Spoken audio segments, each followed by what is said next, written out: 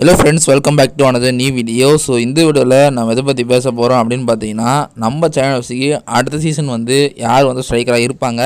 இல்லை புது ஸ்ட்ரைக்கர் யாராவது சைன் பண்ணுவாங்களா? இல்லை எந்த மாதிரி ஸ்ட்ரைக்கர் நம்ம வந்து சைன் பண்ணலாம்? இல்லை இஸ்மாவை கண்டினியூ பண்ணுவாரா? அப்படிங்கிற எல்லா விஷயத்தையும் இதுவரை நம்ம டிஸ்கஸ் பண்ணலாம். அதனால் இந்த வீடியோ ஸ்கிப் பண்ணாமல் கிடச்சிருங்க ஃபுல்லாக பாருங்கள் இப்போ வாங்க வீடியோக்குள்ளே போகலாம் சரி ஓகே ஃப்ரெண்ட்ஸ் ஃபஸ்ட்டு நம்ம uh, சென்னை எஃப்சிக்கு இது வரைக்கும் எந்தெந்த ஸ்ட்ரைக்கர் ரூமர்ஸ் வந்துக்குது அப்படின்னு பார்த்தீங்கன்னா அருணன் சன்னனா ரூமர் மட்டும் தான் பார்த்தீங்கன்னா என்னை பொறுத்த வரைக்கும் ஓரளவுக்கு கொஞ்சம் நெருக்கமான ஒரு நியூஸ்னே சொல்லலாம். ஏன்னா நம்ம சைனாசி வந்து அடன சன்னனா வந்து அப்ரோச் பண்ணது வந்து உண்மை அப்படிங்கிறது தான் எல்லா சோர்ஸஸும் வந்து சொல்லியிருக்கிறது.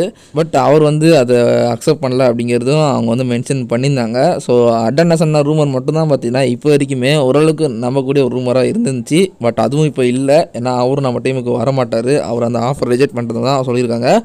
ஸோ அதுக்கப்புறம் இப்போ ஒரு சில தினங்களாக பார்த்தீங்கன்னா என்ன ரூமர் வந்துட்டு ரூமர்னு சொல்ல முடியாது ஒரு கிளிம்ஸ்னு சொல்லலாம். அதாவது வாஸ்கிஸ் ராய்கிருஷ்ணா ஐஎஸ்எல் இருக்க ஒரு சில பெரிய தலைங்க வந்து அதாவது ஸ்ட்ரைக்கர் சொல்கிறேன் நீங்கள் வந்து எதுவும் தப்பாக நினச்சிக்காதீங்க. ஸோ அவங்க வந்து சைனாஸ் வர மாதிரியான சில சில கிளிம்ஸை வந்து நீங்கள் பார்த்துருப்பீங்க. பட் அது எதுவுமே பார்த்தீங்கன்னா உண்மை கிடையாது. ஏன்னா நம்மளுக்கு தெரிஞ்ச சோர்சஸும் சரி இன்ஸ்டா பேஜஸ் ட்விட்டர் பேஜஸ் யாருமே பார்த்தீங்கன்னா அதை பற்றி எதுவுமே சொல்லலை.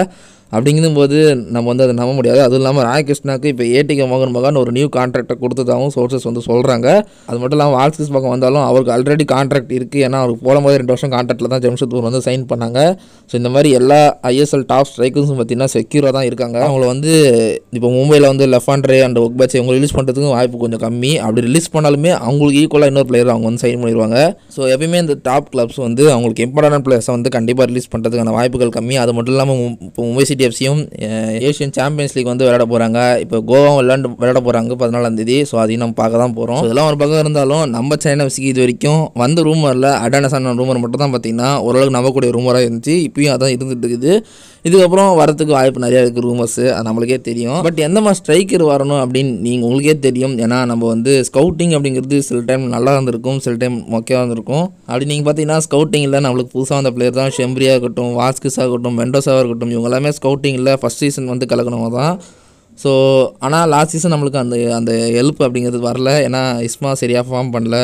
யாக்கப் செல்வஸ்டரும் சரியாக பர்ஃபார்ம் பண்ணல. அது இந்த மீன்ஸ் பர்ஃபார்ம் பண்ணலன்னா அவர் வந்து ஹார்ட் ஒர்க்கில் நல்லா தான் பண்ணார். அதாவது அசிஸ் கொடுக்குறதா இருக்கட்டும் அது மட்டும் இல்லாமல் அவரோட டெடிகேஷன் வந்து உண்மையில் நல்லா தான் இருந்துச்சு. பட் அவருக்கு வந்து கோல் அடிக்கிற லக் இல்லை. அதுதான் பார்த்தீங்கன்னா சொல்ல வேண்டிய விஷயம். பட் அவர் வந்து சீக்கிரமாக ரிலீஸ் பண்ணிட்டாங்க நம்ம சென்னைசி ஆனால் இன்னும் இஸ்மான் நியூஸ் தான் அஃபிஷியலாக தெரில அவர் வந்து இருப்பாரா இல்லை போவாரா அப்படிங்கிறது அது அதுவும் கூடிய செய்தியில் தெரிஞ்சிடும் நம்மளுக்கு. பட் அவர் வந்து நம்ம டீமில் இருக்கக்கூடாது அப்படிங்கிறது நம்ம ஃபேன்ஸோட ஒரு வேண்டுகோள். ஏன்னா அவரோட லாஸ்ட் சீசன் பர்ஃபார்மன்ஸ் வந்து அந்த மாதிரி இருந்துச்சு. சரியாக ஓட மாட்டுறாரு பெனால்ட்டி கோல் தான் பார்த்தீங்கன்னா அதிகமாக அடிச்சிருக்காரு. ஓப்பன் பிளேயில் ஒரே ஒரு கோல் மட்டும் தான் ஸ்கோர் பண்ணியிருக்காரு ஸோ இப்படிங்கும் போது அவர் வந்து ஒரு ஸ்ட்ரைக்கரா அப்படிங்கிற ஒரு கேள்வியே நம்மளுக்கு வருது. ஸோ கண்டிப்பாக அவரை மட்டும் ரீட்டைன் பண்ணக்கூடாது. அவர் பதில் வேறு எந்த பிளேயராவது சைன் பண்ணாலும் நம்மளுக்கு நல்லா தான் இருக்கும். ஸோ சைன் பண்ண பிளேயரை நல்லா ஸ்கவுட்டிங் பண்ணி சைன் பண்ணுங்கள் ஏன்னா இவ்வளோ மாதம் இருக்குது ஐஎஸ்எல் ஸ்டார்ட் ஆகிறதுக்கு ஸோ இவ்வளோ மாதமும் நம்ம ஸ்கவுட்டிங் தான் பண்ண போகிறோம் அதனால் பொறுமையாக ஸ்கவுட் பண்ணி ஒரு நல்ல பிளேயரை சைன் பண்ணி நம்ம சைன் எஃப்சி அடுத்த சீசனாவது பிளே ஆஃப் போகணும் அப்படிங்கிறது தான் நம்ம ஃபேன்ஸோட ஒரு ஆசை. ஸோ இந்த வீடியோ அவ்வளோதான் இந்த வீடியோ உங்களுக்கு பிடிச்சிருந்தா மக்கள் லைக் கொடுங்க. பிடிக்கல டிஸ்லே கொடுத்துட்டு ஏன் பிடிக்கல அப்படிங்கிறத கீழே கமெண்ட்ஸ் சொல்லுங்கள் ஸோ நான் வந்து இந்த மாதிரி இன்னொரு புதுல நாளைக்கு உங்களை மீட் பண்ணுறேன் அது வரைக்கும் டாடா பை பை